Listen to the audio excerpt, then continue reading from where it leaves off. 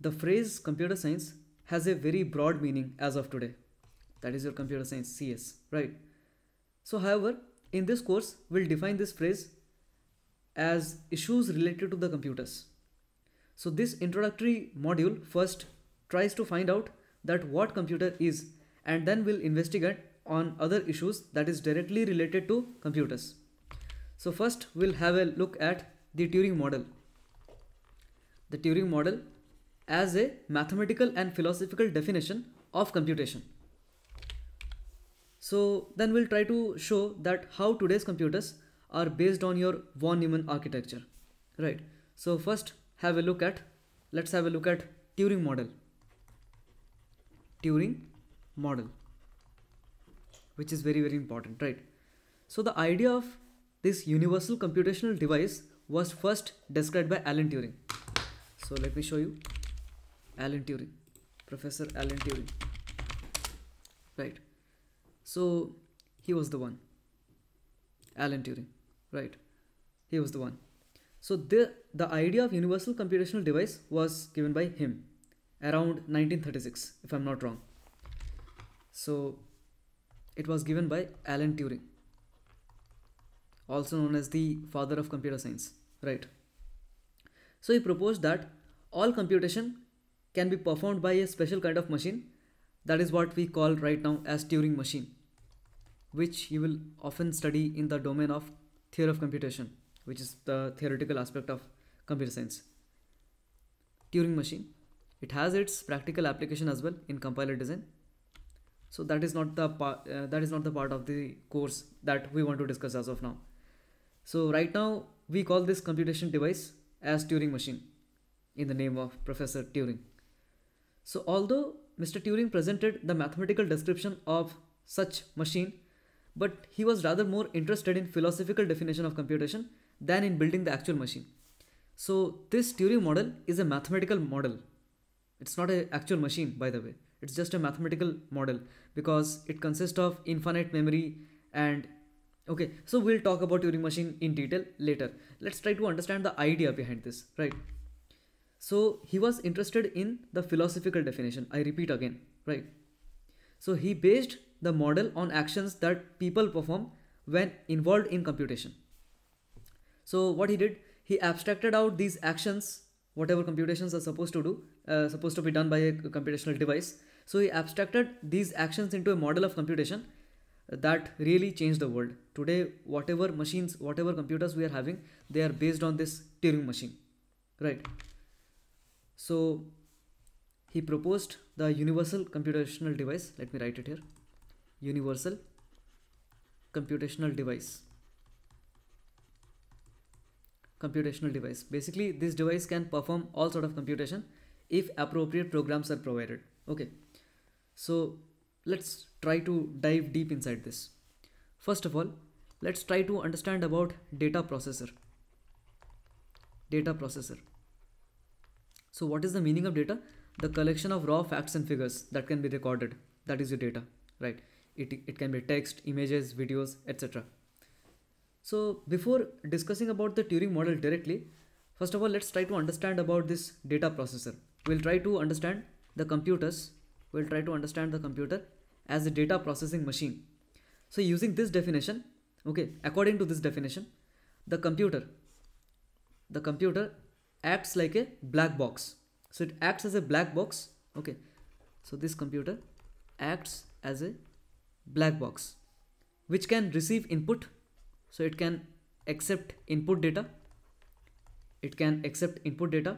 Then it can process the data and then provides output it provides output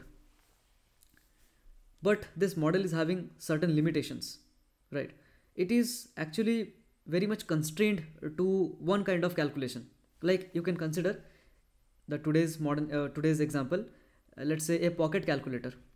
So pocket calculator is something which is very specific to its task okay? It can just perform few basic calculations right? It cannot play videos or you cannot play games on this right? It can just perform basic calculations for you. So these kind of computers, that is the data processors, are highly specific in its domain, right? So that is one limitation. So we and and moreover we cannot specify the type of processing. What kind of processing you want to do you cannot modify that. Once the buttons are pre-configured addition subtraction multiplication division out of that you can't perform anything. You cannot program a calculator right? Most probably. Now so these are some some of the limitations of this model here right? But again it has its real world use cases and hence we are having this in the form of pocket calculator right and many other devices so more than one kind of calculation or one kind of processing is not possible here, right? So it's it's not clear that what all set of operations a machine okay based on this model can perform. So so how do we put this okay in in the sense of like it is whether whether it is a specific purpose machine or general purpose machine okay so how do you put this so first is first option is that how can we talk about this? Can we call it a specific purpose machine or a general purpose machine? So is this machine specific purpose or general purpose? What do you think? You can comment below, right? General purpose. So if you observe clearly, it is specific purpose machine. Why? Because once the computer hardware is designed to do certain task, you cannot after that you cannot program it, right? Once the task is defined then you cannot change it. So that is why it is specific purpose okay? So this model could represent a specific purpose computer or a processor that is designed to do a single job. It can do only one kind of job okay? For example like your pocket calculator which performs addition subtraction multiplication division. These are very specific tasks actually. Then there are various devices right uh, which are used for controlling the temperature right for controlling the temperature. So this is again a specific purpose computer or specific purpose machine right? And then we have we have the fuel, fuel indicator right? So these are these all computational devices are spe uh, are specific purpose machine and they do have the real world relevance. However these computers okay as the word computer as we use in our today's jargon today's systems are actually general purpose rather than this specific purpose right? So there are the today our today's computers can do many different types of tasks because we can feed different kind of programs into our this today's uh, systems. So with with regard to that let's have a look at programmable data processor. So we have uh, we have observed the limitation. So one of the limitation of this data processor is that it is specific purpose once the hardware is designed you cannot configure it again to do some other task unless and until you don't change the hardware configuration right? Now let's talk about now let's talk about programmable data processor. Programmable programmable data processor. For example it is if i put a simple analogy here right? Let's say if a instruction is given to you that you bring you, you are supposed to bring something from market right so in that case let's say you can you can just you're configured to bring only pen from market. So whatsoever input you get right you you are having the specific capability to bring pen from market. You cannot do multiple tasks or different type of task you cannot do because you can receive only a certain kind of input and you can do a very specific type of job. Okay so you cannot be programmed. Okay any modified instruction you cannot be modified by any sort of instruction or by program okay? So in that case we can say that you are non-programmable okay? We cannot program it. Once you are tuned for bringing pen from the market you cannot do anything out of that right? Now let's talk about a programmable data processor. So the Turing model is a better model for general purpose computer. It's it just synchronizes well with this general purpose computer term right? So our general purpose computer fits into this category. That is your programmable data processor. General purpose computer. Right. Now let's talk about it. So this model adds one extra element to the specific computing machine. That is the program. So here this word program is very very important. So let's try to understand what is this program. So it is basically your okay sequence of instructions. Okay it is it is basically the sequence of instructions that tells the computer what to do with the given input data. Right so let me write uh, let me just jot it down. It is a sequence or you can say ordered collection right? Sequence of instructions or commands which a computer can execute of course. Okay. Sequence of instructions that tells that tells the computer that tells the computer that tells the computer what to do with the data. What to do with the data right? That is your input data basically. Input data. So this feature was lacking in the previous model right? So this program this element of program is the game changer here right? So in the turing model the output data depends on the combination of two factors okay? So the output. In this model the output let me write it fully. So output in short i write o by p like this okay and input i hope you can guess that is your i by p right? So here we'll talk about output. So in this okay in the turing model the output data depends on two factors. First is your so the two important factors is your input data. First is the input data. And the second important aspect is your the program that you're feeding in right? So these two are the key elements which is the driving factor okay or which is responsible for the output that is produced by this Turing model right? So like I can just show you some example. But before getting with some example let's let's see at a schematic level that how this uh, model looks like. So you have the computer here right? You have the computer here. And then this is your input module. This is your input module through which the computer can receive the input data. And this is your output data right? Output data. So the data which you achieve okay after the processing right? And this is your input data. And again the extra element here that is your program. So the program contains the sequence of instructions which says to the computers that what to do with the input data so that the output is produced accordingly right? So let's try to understand this aspect okay? So let's uh, have various combination. So first combination is that okay so we can have various combination of the okay programs and the input data. So first first combination is that same program same program. So let me give you a small example of program. So program is your basically sequence of instructions right? So let's say uh, let's say i want to add two numbers. I want to add two integers let's say. So in that case first of all we can perform these instructions we first of all we need to get started. We, we need to start the program right? And then we need to input let's say first number let's say n1 then we need to input uh, that is your n2 and then we need to add this n1 plus n2 and whatever is the result we'll store this in some variable let's say r. And then finally we'll just print out the result. And after that we can halt this program right? So if you observe here it's just like a recipe right? Like if you want to have a dish for that you are going to have corresponding recipe. And if you follow the instructions that is mentioned in the recipe and if you perform them properly without any mistake you will have the dish ready at your disposal right?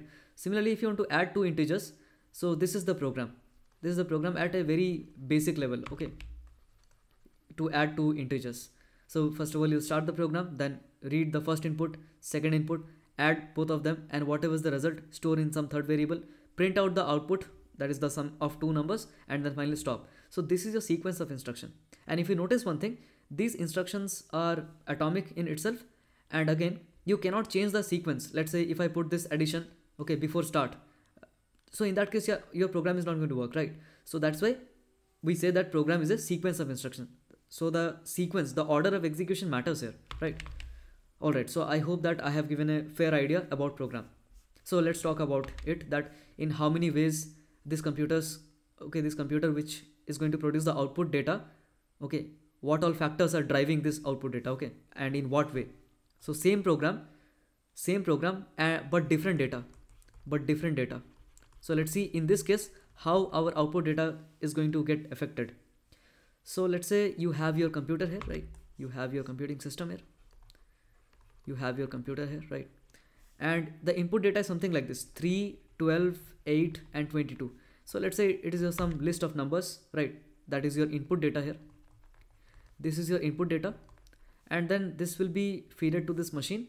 And there is a program for sorting these numbers. So sorting means arranging the numbers from ascending to, to ascending order or descending order vice versa whatever it is okay?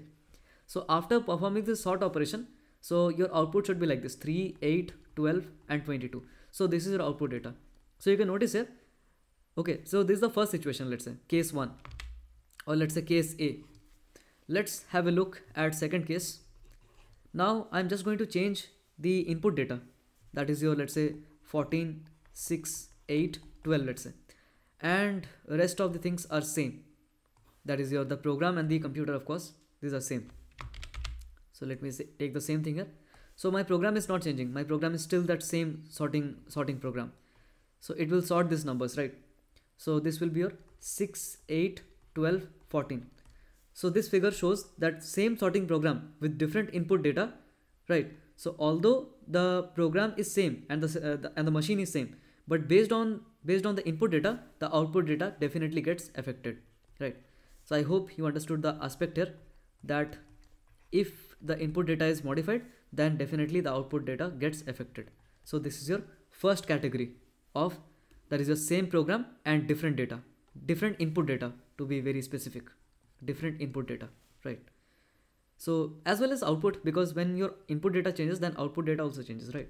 So it's better to write different data. Second category. Second category is your okay same input data. This time input data will be same. Same input data but different program. Okay different programs. Let's have this combination once okay? Different programs. I hope these things are visible to you. So we'll uh, we'll try to have a look okay where we'll just keep the input data same and we'll just change the program and let's see how our output changes right?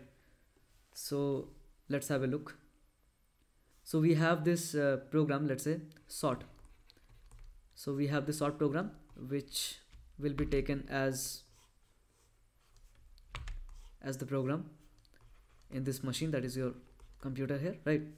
So in the input data we'll put the data elements as okay 3 12 8 and 22 and after this sort operation your data would be 3 8 12 22 so this is your input data and this is your output data. I hope that is clear right?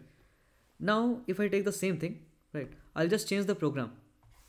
I'll take the same data set and I will change the program this time. I'll modify the program so here instead of let me just erase this sort here. Instead of uh, sorting the numbers I will add this list of numbers this input data here right? So after addition I'll be getting this is your I guess 3 and 22 25 and 20 that is a 45 right?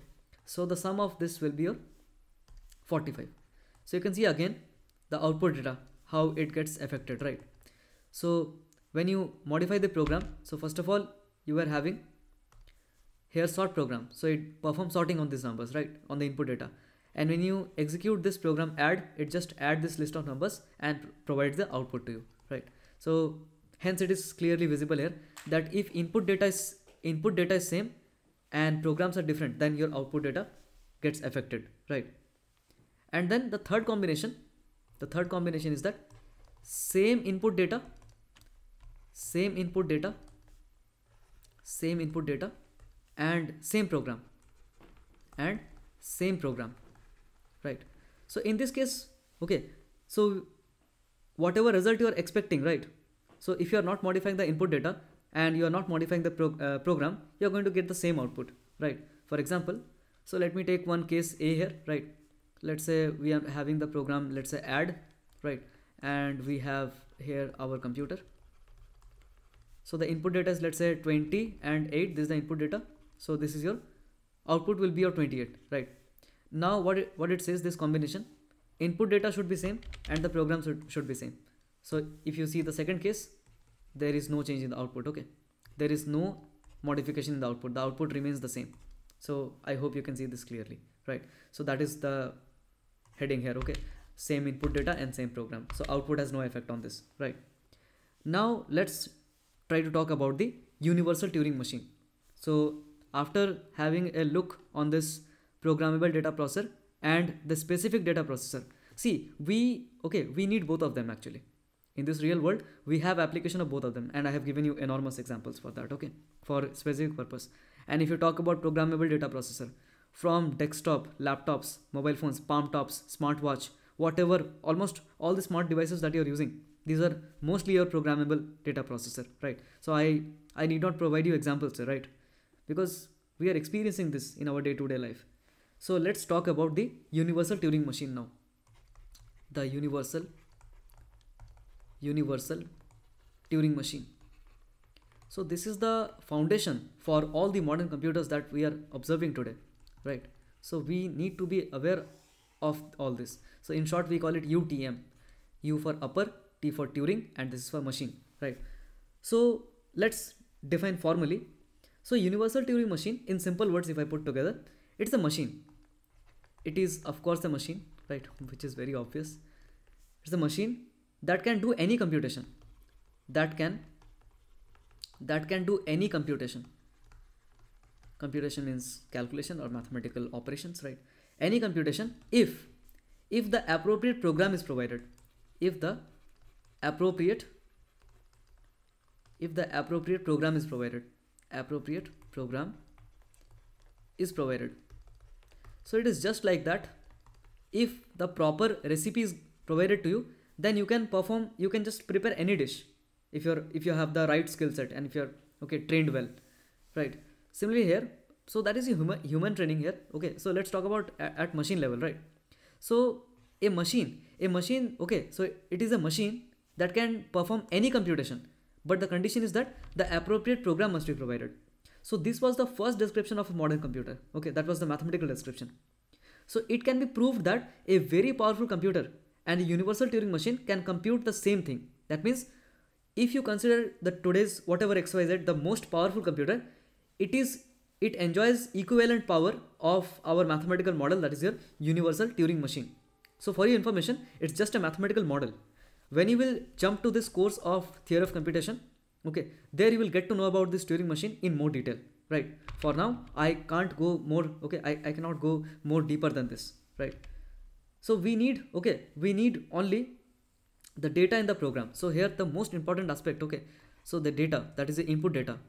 Input data is the first important aspect here and second is the program right? Because whatever operations will be performed that will be based on your input data right so the description and the, and the program will say the program provides the description of how to how to do the computation on the given data. So program will say program will contain the instructions of doing the certain operations on the given input data. So in in in short if I say universal Turing machine that is your UTM is capable of computing anything that is computable. Okay. So let me write this line. But again, the appropriate program must be provided. So let me write this line. Okay, this line is worth writing. So a universal Turing machine in short I will write a, a universal Turing machine UTM that is okay is capable is capable is capable of computing anything that is computable. Computing anything that is computable that is computable. Now what are the limitations of this? Again we'll study these things in theory of computation that is your TOC right so that's it. I hope that you really enjoyed. You got to know something. If you have really got to know something, please leave your comments below. Thank you for watching.